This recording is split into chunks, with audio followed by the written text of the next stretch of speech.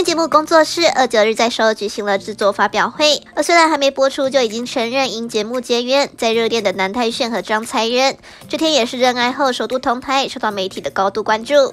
사람 일이 모르는 거더라고요. 그래서 네.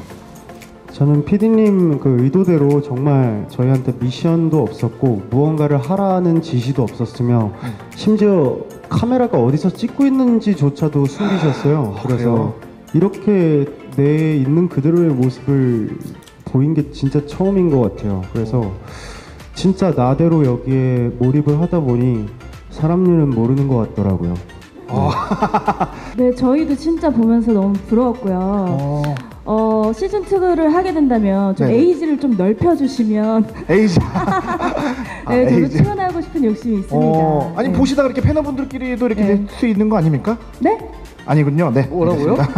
아니에요, 아니에요, 아니에요. 저도 계속 보면서 아 저도 저기 있고 싶다고 그러니까 정말 아, 요즘 젊은이들은 굉장히 정말 당돌하고 활기차고 정말 거침이 없구나. 굉장히 부러웠습니다. 부러울 따름입니다. 장재인 씨가 처음에 인터뷰할 때 내가 큐피트 역할을 하겠다. 근데 여러분 이 화살을 다른 사람한테 쏘는 건 어렵지 않지만 자기 심장을 자기가 이렇게